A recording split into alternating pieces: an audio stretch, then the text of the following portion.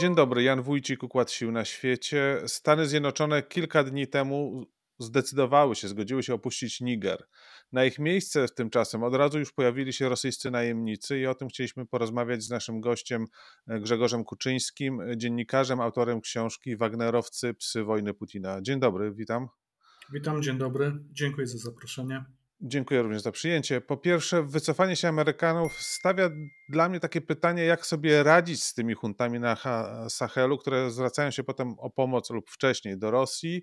Francuzi wobec tego zamachu stanu, który miał miejsce w lipcu 2023 roku, no, mm, przyjęli taką postawę konfrontacyjną. Tutaj grozili interwencją, mobilizowali ECOWAS do, do walki, natomiast y, Amerykanie mieli taką postawę bardziej wyczekującą, bardziej no widać y, przez długi czas powstrzymywali się od na przykład e, przed nazwaniem tego zamachu tak zamachem stanu, więc y, no oczekiwali, że może no ta współpraca będzie kontynuowana, ale żadna z tych strategii nie wypaliła.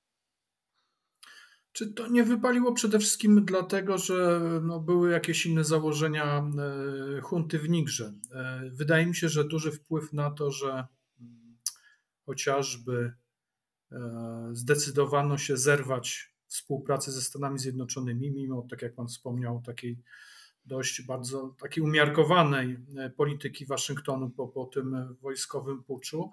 E, wynikać może w dużej mierze z tego, że, że Niger jest tutaj e, w pewnym sensie skazany na ścisłą współpracę z dwoma sąsiednimi krajami, również rządzonymi przez wojskowych, gdzie też pojawili się Rosjanie, czyli Mali i Burkina Faso. Te trzy kraje, Niger, Mali, Burkina Faso, jakby zawarły taki, stworzyły trójstronny blok militarny tak naprawdę. I tak. tutaj takim wspólnym mianownikiem jest nie tylko walka z dżihadystami, ale też właśnie obecność rosyjska, więc wydaje mi się, że to miało duży wpływ na, na, na decyzję władz Nigru, bo pamiętajmy o tym, że e, tak naprawdę dopiero w, no, w ostatnich kilku miesiącach e, e, niemalże kilkunastu tygodniach nastąpił taki dość ostry zwrot w polityce e, hunty wojskowej w Nigrze w stosunku do Amerykanów. No, widocznie Rosjanie też obiecali e, więcej niż Niger mógł uzyskać od Stanów Zjednoczonych.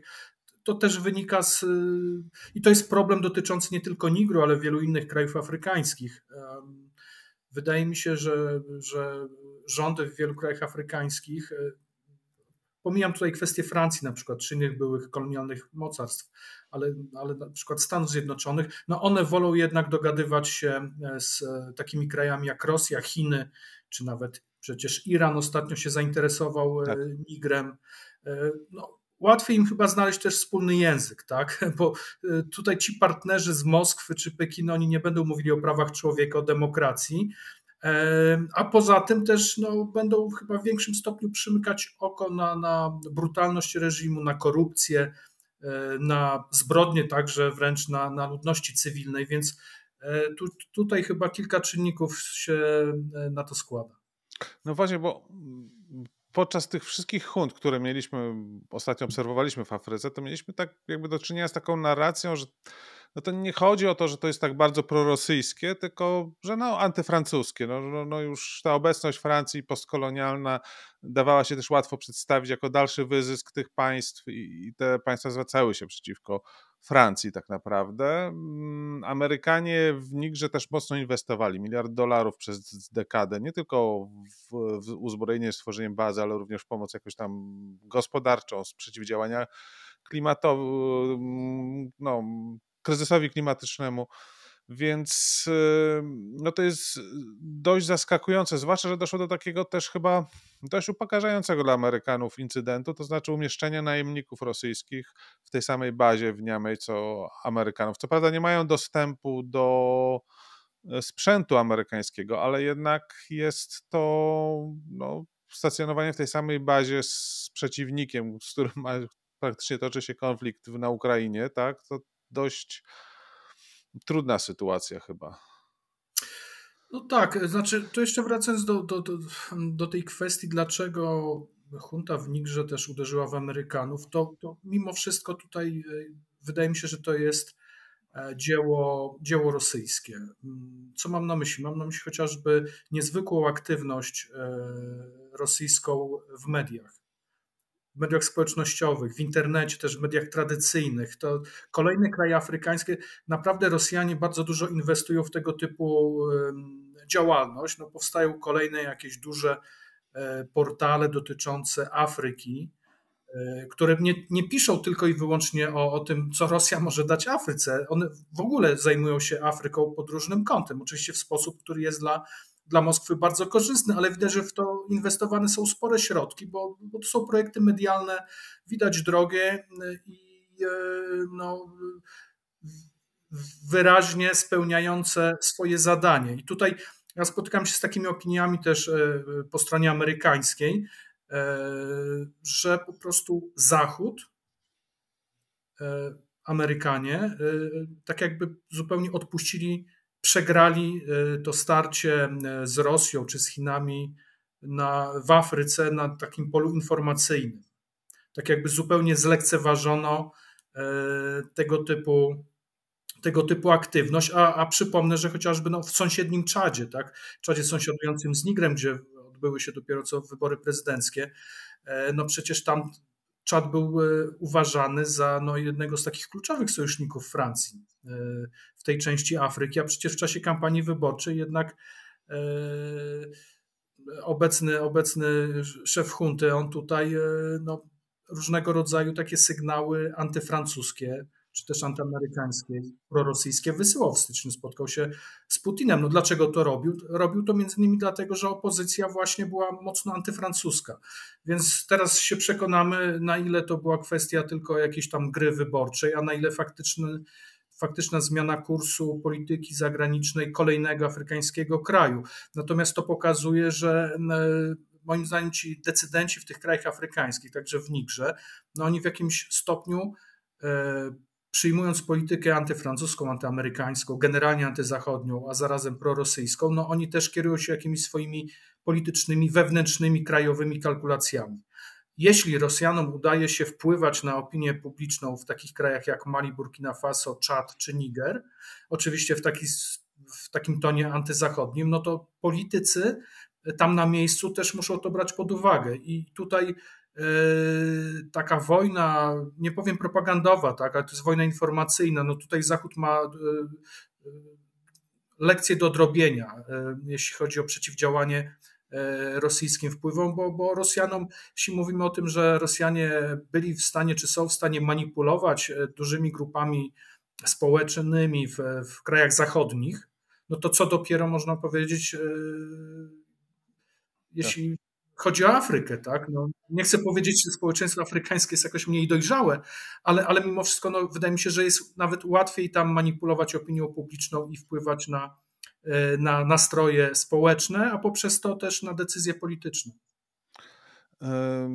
Ja jeszcze czytałem z taką, spotkałem się z taką opinią, że no to jest też problem Amerykanów, którzy nie chcą się pogodzić z pewną taką konkurencyjnością wewnątrz poszczególnych krajów, czyli takim zaakceptowaniem innych konkurentów. To znaczy, że te państwa chciałyby zarówno korzystać z inwestycji amerykańskich, jak i inwestycji chińskich, nie widzą w tym e, przeszkód. Amerykanie oficjalnie komunikują również, że chcą traktować Afrykę jako takich równo, państwa afrykańskie jako równorzędnych partnerów, a jednocześnie gdzieś trwają właściwie zakulisowe rozmowy, które nakłaniają te państwa do, czy to do przyjęcia pewnego modelu państwowości, czyli dem, demokracji, praw człowieka i, i, i, rządów prawa, a z drugiej strony też do opowiedzenia się po którejś ze stron i, i że to może wypychać y, Amerykanów z, jakby ta niechęć pogodzenia się z tym, że tam też w tych państwach będą i Chińczycy, i Rosjanie, może Iran i tak dalej.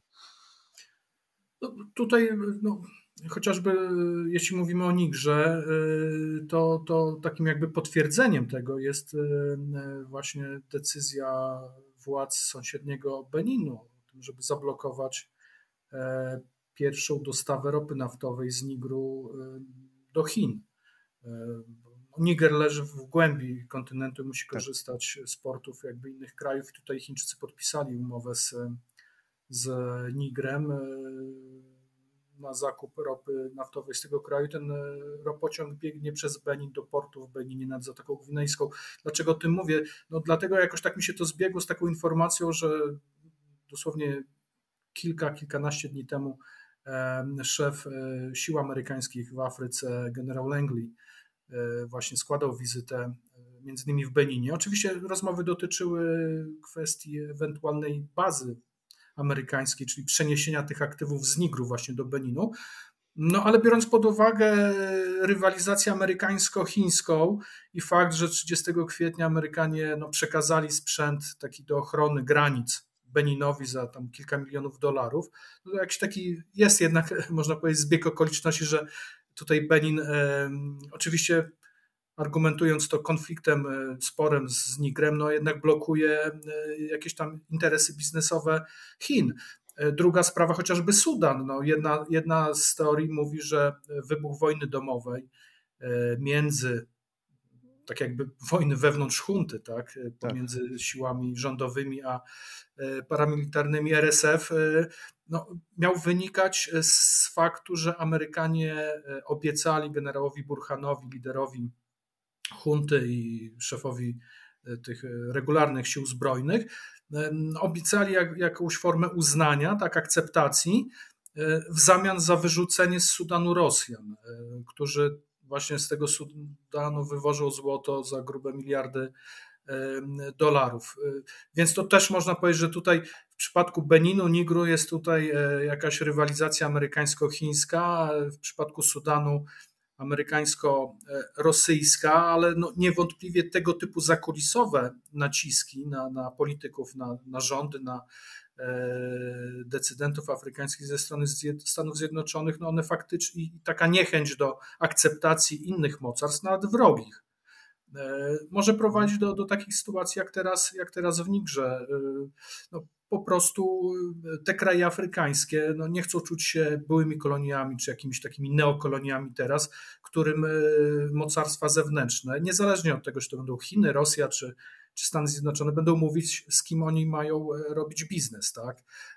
Więc być może jest to też jeden z powodów, dla których ta taka, nie wiem czy arogancja, tak, ale, ale w pewnym sensie no, tego typu wykluczająca polityka amerykańska w różnych krajach afrykańskich, no po kilku, kilkunastu latach, czy po kilku dekadach, no, no ona w tej chwili się mści, bo mamy do mhm. czynienia jednak e, no, z e, Chiny, no, potęga ekonomiczna, Rosjanie jednak potrafią, przynajmniej w kwestii bezpieczeństwa, w kwestii militarnej też coś zaoferować, no to, to teraz e, jakby odbija się to na, na pozycji i na wpływach amerykańskich w Afryce. Jak to jest duża strata dla Amerykanów, to wyjście z Nigru? Czy to będzie można odbudować? Wspomniał Pan o szukaniu kolejnej y, miejsca na, na, na bazę w Beninie. Czy Amerykanie mają inne możliwości jeszcze? No tutaj z tego co wiadomo, y, ten wspomniany generał Langley y, na pewno złożył na przełomie kwietnia, maja wizyty w w stolicach wybrzeża Kości Słoniowej i właśnie Beninu. Natomiast też Wall Street Journal e, donosił, że takim trzecim krajem, trzecią opcją jest jeszcze Ghana.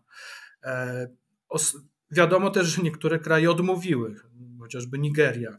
E, inne kraje nad Zatoką Gwinejską no, chociażby Gwinea, no, też nie przyjmą Amerykanów, bo mimo, że no, jeszcze powiedzmy nie ma tego sojuszu z Rosjanami, tak jak w przypadku Burkina Faso, Mali czy Nigru, no to jednak też tam jest junta wojskowa raczej bardziej przychylna Rosji. No, w Senegalu też mieliśmy przecież e, zmianę teraz na stanowisku prezydenta i ten nowy prezydent bynajmniej nie jest jakiś bardzo prozachodni i antyrosyjski. Więc tutaj możemy mówić o tych trzech opcjach w tej chwili. Benin, e, patrząc od wschodu na zachód, nad Zatoką Gwinejską, e, Benin, Ghana, Wybrzeże Kości Słoniowej. Dlaczego zwracam uwagę na, na geograficzne położenie? Który z tych krajów jest położony najbardziej na zachód, a który na wschód? No bo, e, bo to od tego będzie zależał zasięg amerykańskich dronów chociażby. Y, nad zachodnią Afryką. A GADES, czyli ta obecna baza w Nigrze, ona daje możliwość no, wysyłania dronów, y, tak jakby powietrznej kontroli nad ogromną częścią Afryki, poczynając od Atlantyku niemalże na zachodzie, po Sudan na wschodzie, oczywiście Zatoka Gwinejska na południu i na północy Libia, Libia. duża część Libii i Algierii, i, i Algierii.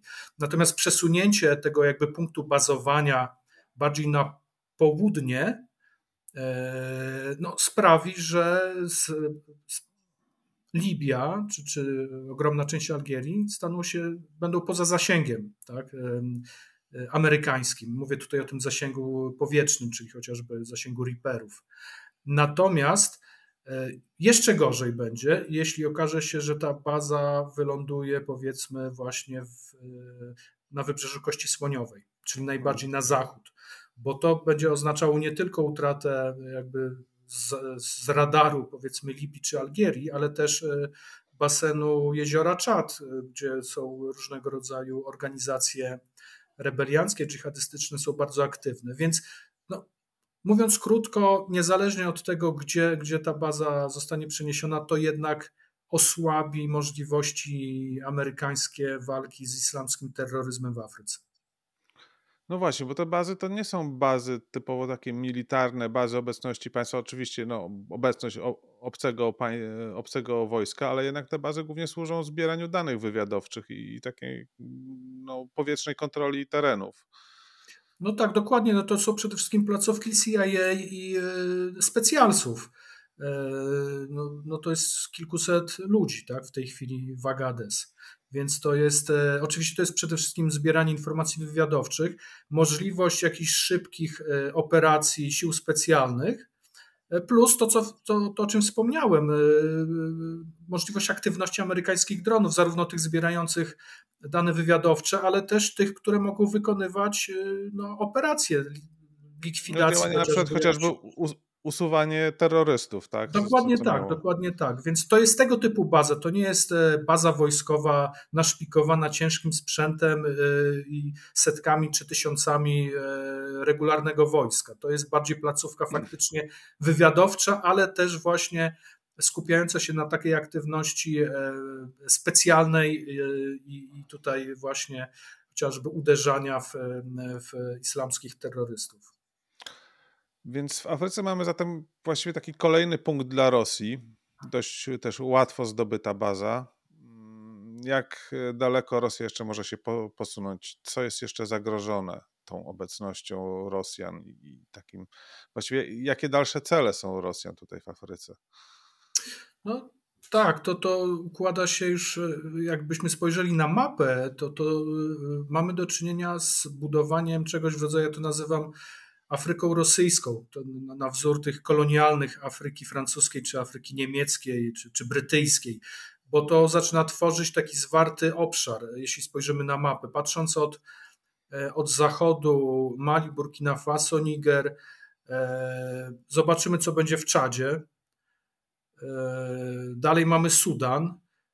Na południe hmm. też o tym się mniej mówi, ale też e, e, no, Rosjanie są bardzo aktywni w Togo, czyli tym kraju leżącym między Beninem a, a Ganu i wybrzeżem Kości Słoniowej, ale też to jest kraj, który pozwalałby Rosjanom w pewnym sensie wyjść z Sahelu, tego zamkniętego trójkąta zamkniętego w sensie no, nie dotykającego żadnego z muszczy oceanów, czyli Burkina Faso, Mali, Niger, no, pozwoliłby wyjść do Zatoki Gwinejskiej. E, za, zarazem na północy mamy przecież Libię, gdzie też Rosjanie są bardzo, bardzo aktywni. E, więc no tutaj tak naprawdę mamy do czynienia z, no, z budową takiego pasa subsaharyjskiego, powiedzmy takiej rosyjskiej obecności. E, też nie wiadomo do końca, jak się rozwinie sytuacja w, chociażby w Winei, gdzie, gdzie też rządzi junta wojskowa. Więc myślę, że to będą te kolejne cele rosyjskie i czemu ma służyć budowa takiej, takiej Afryki rosyjskiej? No, jedna rzecz oczywiście to jest wypychanie, to jest e, Moskwa traktuje to jako front wojny z Zachodem. To chyba póki co jedyny front, na którym to Rosja jest zdecydowanie górą i odnosi jakieś sukcesy powiedzmy szczerze, niewielkimi kosztami. E, no jest dostęp do, do zasobów naturalnych. E, no i też jest kwestia e, obecności wojskowej. Zakładając na przykład, że udałoby się e, zakończyć wojnę domową w Sudanie e, w taki sposób, że ta umowa, wstępna umowa o, powstaniu bazy morskiej Rosji nad Morzem Czerwonym byłaby realizowana. Przypomnę, że niedawno e, Niedawno w Sudanie byli przedstawiciele Moskwy i rozmawiali z generałem Burhanem. Tak jakby no, wracając do tej poprzedniej gry na dwóch fortepianach, bo wcześniej mówiło się przede wszystkim o wspieraniu generała Dagalo. Tak. E, jeśli dodamy niedawną wizytę floty rosyjskiej w Erytrei, też nad Morzem Czerwonym, plus e, niezwykłą aktywność Rosjan w Libii, e, mam tutaj na myśli oczywiście przede wszystkim rozmowy z generałem Haftarem i zapewne lada moment być może finalizacja jakiegoś oficjalnego porozumienia obronnego, plus to właśnie Togo, o którym wspominałem, czy, czy ewentualnie Gwina, no to może się okazać, że Rosjanie w Afryce no, będą mieli na przykład bazy morskie nad Morzem Śródziemnym w Libii, nad Morzem Czerwonym w Sudanie lub Erytrei i nad Zatoką Gwinejską. E, to, to strategicznie e, to byłby wielki sukces rosyjski. To jest bardzo duże zagrożenie dla, dla Zachodu. No i druga, jeszcze jedna kwestia. Kontrola nad Sahelem pozwala Rosjanom regulować w pewnym sensie napływ nielegalnych imigrantów do, do Europy. Jak spojrzy się na, na szlaki, e, te główne szlaki tej nielegalnej migracji tam z południa Afryki, przede wszystkim z Zatoki, z nad Zatoki Gwinejskiej właśnie na północ do, do Algierii, do Tunezji, do Libii, to one przebiegają przede wszystkim właśnie przez, przez Mali, przez Niger, e, przez Czad. Tam wszędzie są Rosjanie, a być może za chwilę będą. No to też, też o tym powinniśmy pamiętać. Ja sobie przypomniałem, że już kilka lat temu e, jeden z ministrów włoskiego rządu otwarcie oskarżał Rosję, e, dokładnie Jewgenija Prigozina o to, że Wagnerowcy e, no, jakby regulują ten napływ nielegalnej imigracji właśnie z Libii do Włoch. Czy w związku z tym, bo to, o to nie ukrywam, też chciałem zapytać, czy my tą migrację, która dociera do Afryki, z Afryki, tak, bo z Białorusi to już, przez Białoruś to już mniej więcej jest jasne, że traktujemy to jako działania e, państwa wrogie, sterowanie instrumentalizacji migracji, czy również tą afrykańską powinniśmy, czyli tą docierającą przez Morze Śródziemne, postrzegać nie tylko jako imigrację taką naturalną, związaną no, z biedą, z ekonomiczną, czy, czy, czy też jako imigrację, która jest sterowana i która jest e, no, narzędziem nacisku na Europę. Albo no zdecydowanie tak, zdecydowanie tak. Oczywiście jedna kwestia to jest jakby regulowanie całego tego procesu, bo równie dobrze czy, czy te lokalne reżimy, czy, czy też e, sprzymierzeni z nimi Rosjanie, oni mogą, to zależy od ich woli, tak, mogą jakby blokować tego typu e, procesy lub je jakby jeszcze wzmacniać. No przecież jedną z decyzji hunty w Nigrze no było wypowiedzenie umowy z Unią Europejską. Tak.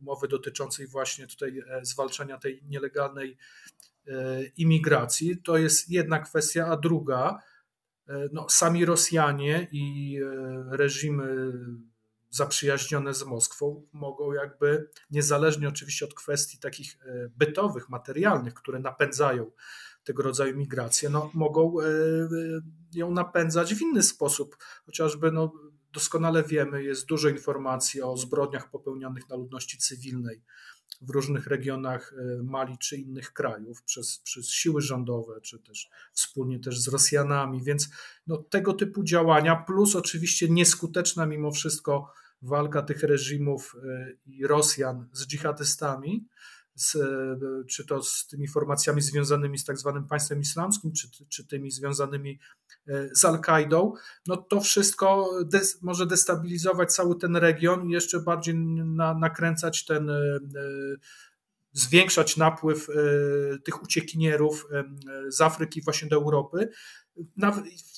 Zakładając oczywiście, że to nie jest tak, że wielu z nich oni nie tylko uciekają e, za lepszym życiem w sensie takim materialnym, ale też, no, nie ukrywajmy, no, wielu z nich po prostu ucieka z obawy o własne bezpieczeństwo, o własne życie.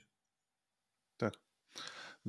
To jest ta kwestia jeszcze tego wzrostu terroryzmu, bo tutaj no, są jakby dwie szkoły. Nie? Jedna mówi o tym, że właściwie te szkoły, no dyskusje mniej więcej, które się toczą. Jedna mówi o tym, że nie powinniśmy się specjalnie angażować w zwalczanie terroryzmu za granicą i po co w ogóle utrzymywanie tego wszystkiego, tego, tych całych wydatków, to, to, to co Stany Zjednoczone robią w, w Afryce, ponieważ nie zagraża to naszym interesom, to jest problem po prostu tych państw i może nie powinniśmy się aż tak bardzo angażować. Inni mówią, że e, wręcz przeciwnie, kiedy terroryści zyskują jakieś terytorium, kiedy po prostu są w stanie kontrolować zasoby, to są w stanie również uderzać e, w, na naszym terytorium, tak, w naszych państwach. Co miało kiedyś miejsce w Afganistanie, po, podobno ponoć zaczyna znowuż mieć miejsce, że, że dzięki temu, że po prostu terroryści się coraz bardziej osadzili, byli, są w stanie przeprowadzać u nas ataki. Czy tutaj e, my rzeczywiście powinniśmy się ograniczyć, wycofać z tego Sahelu i tylko pilnować e, granic, czy jednocześnie no, powinniśmy działać w takim jakby no, na wysuniętym przyczółku? Czy no, ja, ja, uważam, jestem zwolennikiem właśnie takiego działania aktywnego, tak? czyli działania już tam, gdzie są źródła e, tego terroryzmu. E, samo zabezpieczenie granic, no nie zamkniemy się tak naprawdę szczelnie, to jest, to jest, e, mhm. to jest niemożliwe. To, więc wydaje mi się, że lepiej działać już tam na miejscu i wydaje mi się, że w ogóle działalność wywiadowcza antyterrorystyczna tam na miejscu, ona w dużej mierze pozwala neutralizować zagrożenia chociażby zamachami. E, no, trzeba zdobywać wiedzę właśnie u źródeł.